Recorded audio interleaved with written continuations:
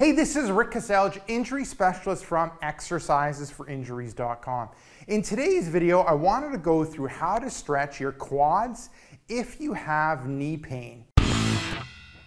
And the key thing ends up being focusing on the hip. So I'm gonna go through two exercises and Jenna's gonna demonstrate them and I'll kind of highlight the key things. So the first one ends up being a standing hip flexor stretch.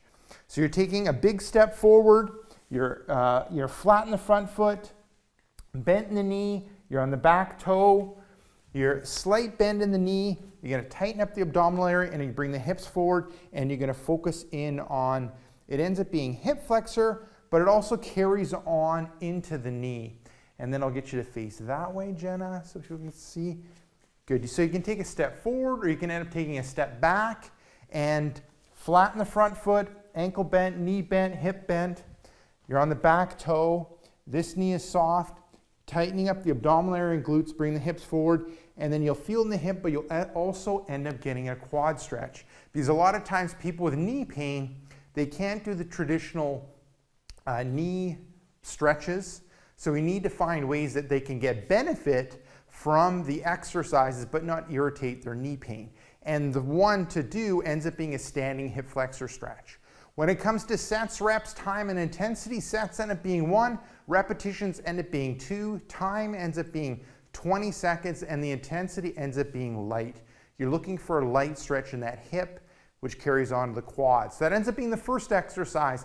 Now going through the second one, we're doing a knee at 90 and bringing the leg back. So you're lying on your side, you're gonna, you're gonna bend the knee to 90, and then you're gonna bring that knee back.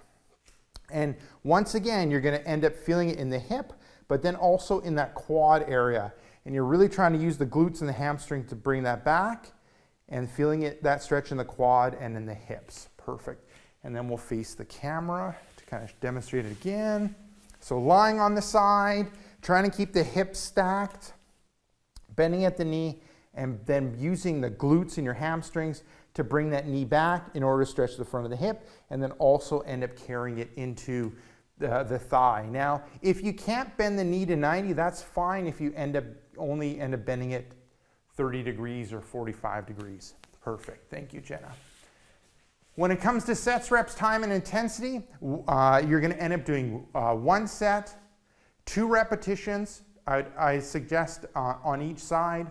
You can alternate or you can stay on the same side and just go through two repetitions. Uh, time ends up being, you're holding for about 20 seconds and the intensity ends up being light. You're looking for a light stretch in that hip area that carries on to the, into the quads.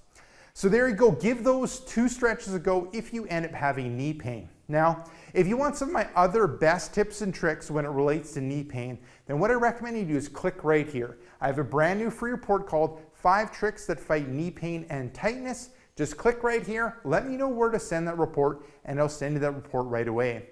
Now, if you're watching this on a mobile device, tablet, smartphone, head down below in the description and click the first link, which will end up being exercisesforinjuries.com forward slash knees. Let me know where to send that report and I'll send you that report right away. Now, if you got benefit from this video, make sure to like this video. If you have a question or comment for me, leave it down below in the comments section. And then lastly, hit subscribe to get future pain relieving videos.